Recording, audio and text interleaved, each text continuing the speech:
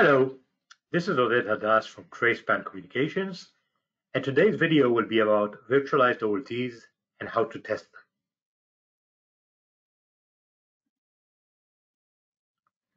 Let's start with an introduction to the ONF CORD project and architecture, which defines the virtualized OLT.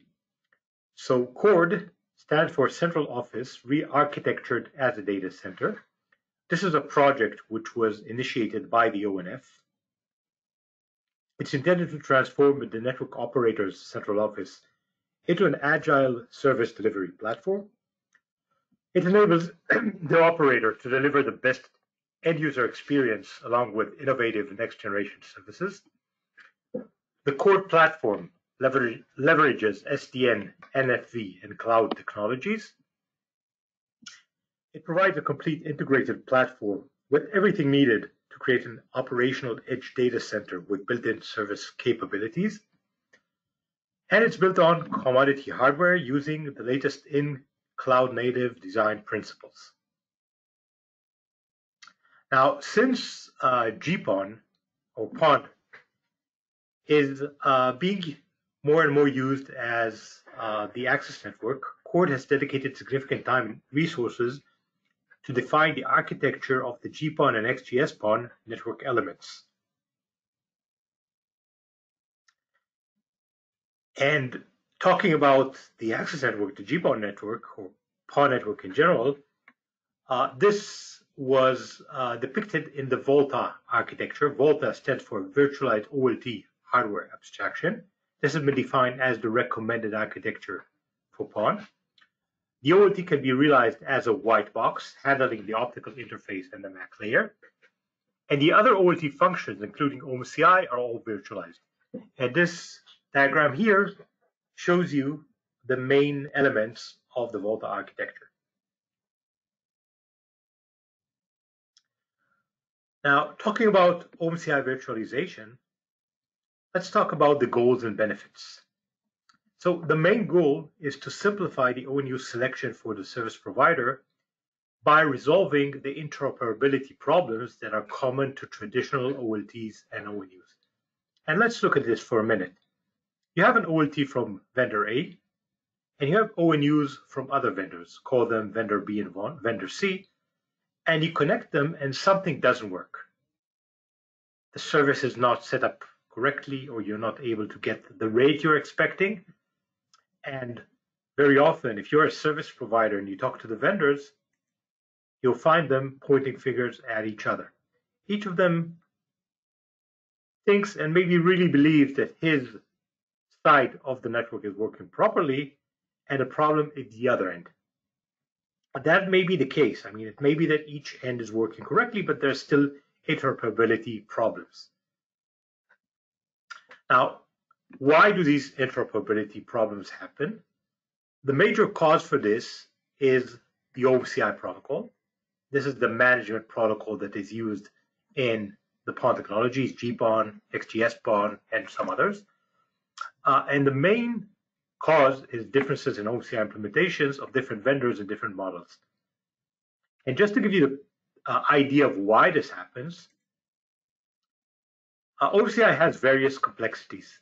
It defines about 400 different types called classes of managed entities.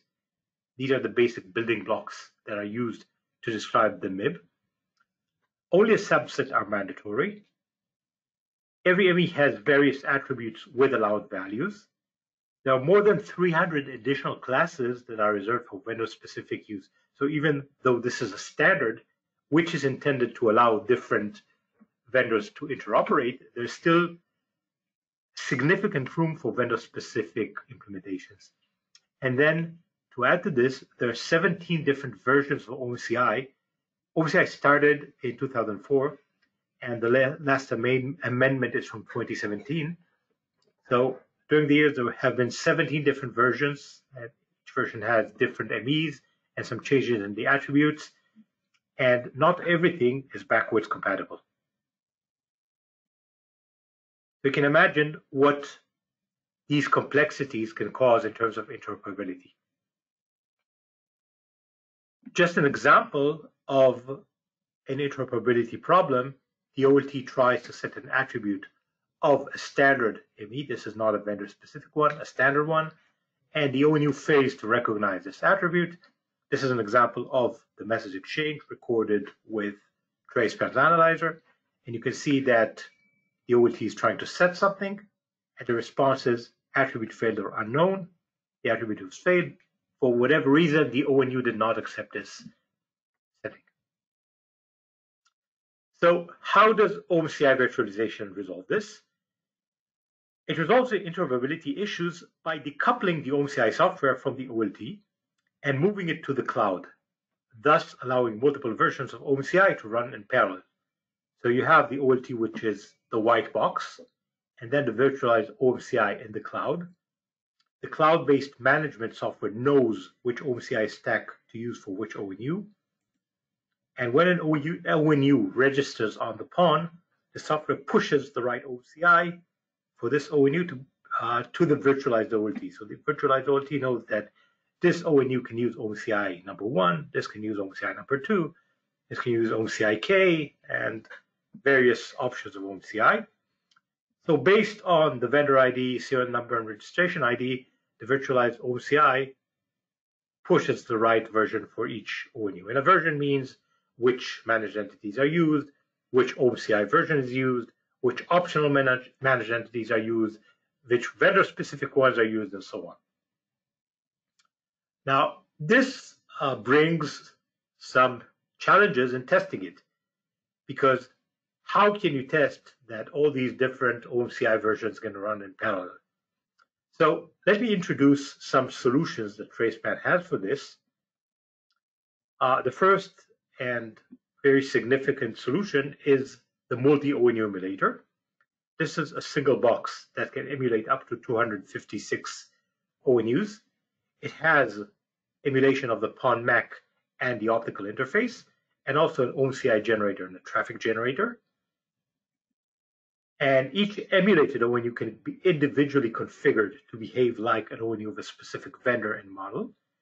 And each can be specified to have its own OMCI configuration file just to give to get an idea of how you configure it, this is the configuration screen where you define your different emulated ONUs. You can see here we have an example of nine different ONUs.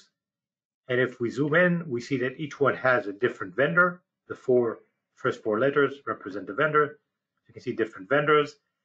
Uh, each one can be configured with its own vendor ID, different serial number, different registration ID, different OMCI MIB file. And looking at the OMCI, you can see that this is the OMCI vendor. Uh, you can configure different attributes. This is an example of the OMCI version, just one of the attributes that can be different with each of the emulated ONUs.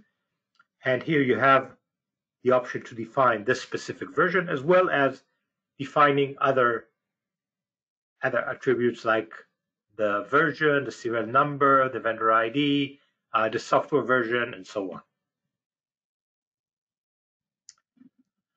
Uh, so this is one testing challenge which can easily be addressed with the multi-ONU emulator. Uh, another testing challenge, uh, the integration of the white box OLT and hardware MAC layer with the virtualized OLT functions coming from different sources and different vendors very often introduces new interoperability problems, at least in the early phases of integration. So even though it's intended for the long term to simplify the network, just look at this diagram of all these different building blocks, which are all open source and can come from different sources. Definitely, this can create new problems. So TraceSpan has two tools that can help with this as well. One is the expert analyzers for GPON and for other PON technologies. Uh, these analyzers connect to the PON, sniff the optical signals, and present and analyze the message exchange between the OLT and the ONUs. So this allows you to analyze and find the sources of interoperability issues, among others. Uh, another tool is, or set of tools are the OLT emulators. Uh, these are tools for standalone testing of an ONU.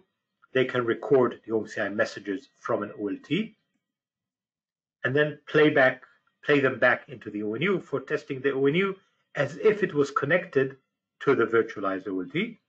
Uh, just as a comment, all these challenges and all these solutions are also applicable for traditional PON uh, and not only for the virtualized PON. But of course, if you invest in them uh, right now and you're working on traditional PON, you have a solution ready for the day when you start moving to virtualization. Uh, thank you for watching this video. Uh, we have a series of webinars, including a webinar on virtualization with more details on website. So you're welcome to go and watch these videos. You can learn more about our company in tracespan.com or contact us at info at tracespan.com. If you like this video, give us a like and we will be glad to hear from you. Thank you.